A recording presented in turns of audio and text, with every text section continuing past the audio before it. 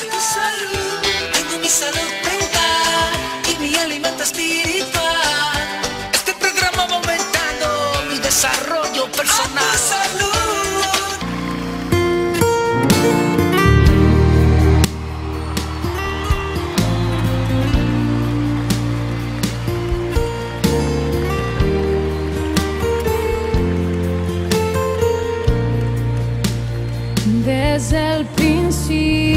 Principio cuando te necesité, desde el momento cuando la mirada se, desde ese día cuando sola me encontraba.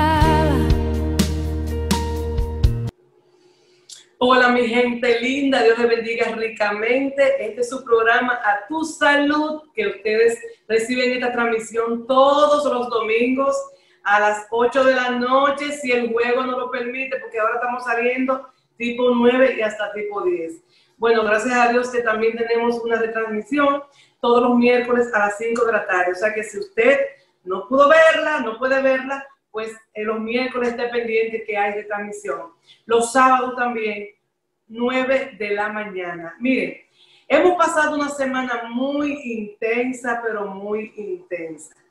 Dios mío, con un tema, tema político bastante fuerte, donde han habido expedientes de más de 300 páginas en contra del señor Medina, hermano de eh, quien fue el presidente Medina de el patrimonio pasado. Ay, Dios mío, cuántas cosas, señores. Eh, a veces yo digo que a veces nosotros queremos cosas y queremos más, y queremos más, y queremos más. Lamentablemente, esto está pasando en una época de mucha crisis para otras personas, mientras unas personas, cuando se llevan todo del heraldo del Estado, todo lo que sale del Estado, hay personas que están sufriendo consecuencias, porque no tienen muchas veces que comer, no tienen que vestir, no tienen educación, no tienen techo donde vivir, mientras a otras personas se les sobra, pero el problema no es que se les sobre, es de la manera con que la consiguen. Pero ahí está la justicia, ahí está la justicia. Vamos a ver qué va a pasar con todo esto. Lamentablemente escuché la noticia de un, también de un señor que era prácticamente un líder también, PLDista, que al escuchar todo lo que está pasando, quizás dijo, yo no quiero llegar a la cárcel, me da mucha vergüenza con mis hijos, no sé lo que pasó, y lamentablemente se, quiso, se quitó la vida. Esto es muy triste realmente. Nosotros hoy traemos un tema, menciono esto porque esto está en palestra pública, para que los que están ahora en el gobierno pongan su barba en remojo. Ahora aquí se va a poner un ejemplo, se va a poner un ejemplo que no sea contigo, que no sea contigo. Yo sé que si tú lees la palabra, si tú te haces cristiano, si tú te llevas de las escrituras, tú no vas a tener envidia, tú no vas a querer lo ajeno, tú no vas a querer robar, tú no vas a querer quitar nada de los fondos que hay en el, en el Estado. Tú vas a ser una persona con razonamiento. Por eso que yo le digo a ustedes, señores, que lamentablemente muchos cristianos que se meten a la política acaban contaminados.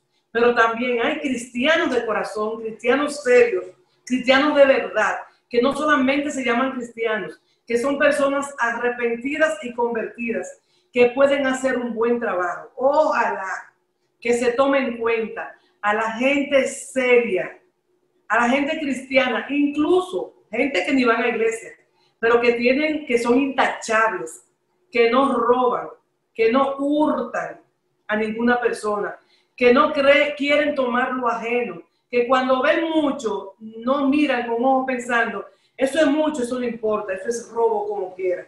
Así que vamos a orar al Señor para que las personas que están gobernando en estos momentos y que le queda prácticamente cuatro años, lo hagan bien y lo hagan con justicia. Lo único es que ahora, por más malo que haya sido alguien, no lo maltratemos. No maltratemos a las personas. Eh, las personas tienen consecuencias por sus malos actos, pero no tenemos que llegar a hacer daño. Miren, eh, hoy tengo, como les eh, eh, empecé a comentar, por el tema de los robos, de, de cómo manejan el dinero de- de- de- del país, de cómo los más ricos quieren más, de cómo el dinero de educación se va, se va a, a- a- otros lugares donde no son justificados. Entonces, hay niños en este momento que están cogiendo lucha porque no tienen una computadora, no tienen una tablet, no tienen un celular para hacer sus clases. Nosotros estamos en una época de la nueva, de la nueva modalidad, de la covidianidad. Y entonces, por eso hoy traemos a una invitada, es Vilma. Vilma viene a hablar de una educación presencial, de darle seguimiento a sus hijos en sus casas con todos los protocolos eh, que se necesitan para estar en una casa que no es tu familia, mascarilla, manos lavadas, eh, aislamiento, o sea, con las otros familiares, pero que le pueden permitir que sus hijos, que ya no pueden ir a una, eh, esas escuelitas que dan de tarde, a una sala de tarea, van a encontrar con este equipo de docentes encabezado por Vilma, personas eh, preparadas, profesores y maestros que pueden ayudar a sus hijos con las tareas.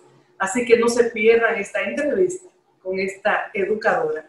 Por otro lado, tenemos el tema, como siempre, de odontología y vamos a hablar de pernos o refuerzos que se ponen en los dientes cuando ya tienen un tratamiento de canal. Lo importante que es que un paciente se haga este requerimiento para que pueda tener durabilidad sus piezas ya tratadas endodóticamente o como llamamos que ya se mató el nervio o root canal.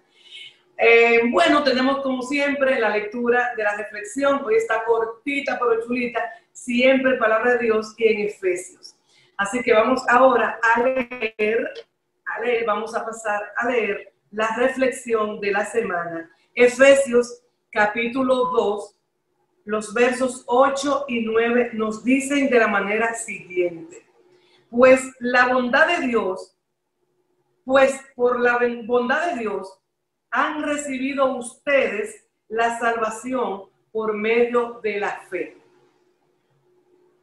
No es esto algo que ustedes mismos hayan conseguido, sino que es un don de Dios. Y no es el resultado de las propias acciones, de modo que nadie puede gloriarse de nada. Dice, porque por gracia sois salvos. Por gracia hemos sido salvos. En estos días, eh, yo en unos estudios bíblicos que hacemos, nosotros damos, que también recibimos, escuchamos el tema de la gracia y de la salvación. Y a nosotros nos cuesta mucho entender que nosotros no tenemos que hacer nada, porque que Dios nos regala ese don. Lo que nosotros tenemos es que retenerlo, cumpliendo su palabra. O sea, que cuando nosotros decimos, porque yo hago esto, porque yo me visto así, porque yo hablo así, porque yo hago el bien, olvídate de eso. Tú tienes que hacer el bien a tu prójimo, porque eso es un mandamiento del Señor.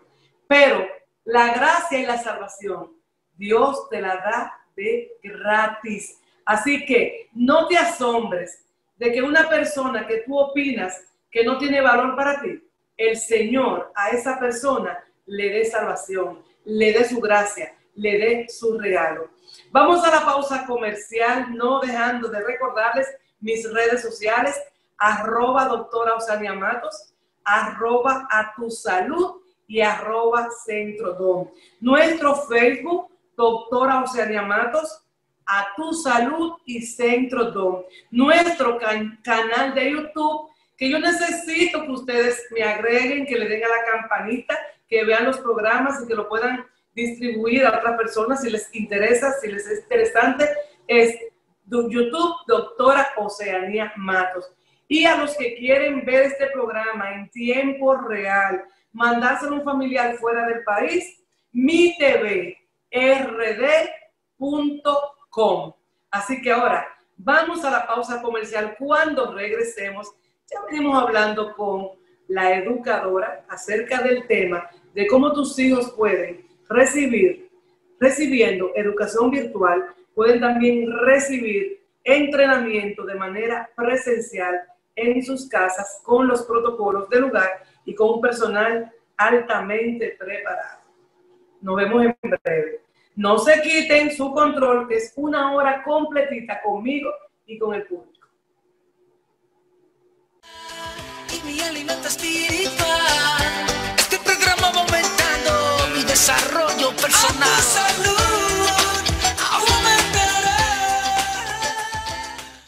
Centro Odontológico Doctora Oceanía Matos, un equipo de profesionales dirigidos por la doctora Matos para hacerle lucir su mejor sonrisa, garantizándole alta calidad en prevención y restauración dental. Aplicamos técnicas avanzadas y de última generación en implantes dentales. En Bellavista, 809-534-5555 y en la zona oriental en el 809-591-4559. Centro Odontológico Doctora Oceanía Matos. Vive la vida con una saludable sonrisa. Les invitamos a visitar la doctora Oceanía Matos para que se encargue de su salud bucal, como lo hace con nosotros. Lleve usted a toda su familia a donde la doctora Oceanía Matos y rían felices, contentos y en familia. La doctora Oceanía Matos. Más de 40 años de experiencia lo convierten en el lugar idóneo para eventos y celebraciones con área interior techada y climatizada. Te invitamos a que compartas con nosotros y seas parte de la historia. Disfrutarás de un menú fusión internacional con lo mejor de la cocina dominicana. Restaurante Atarazana, calle Atarazana número 5, zona colonial.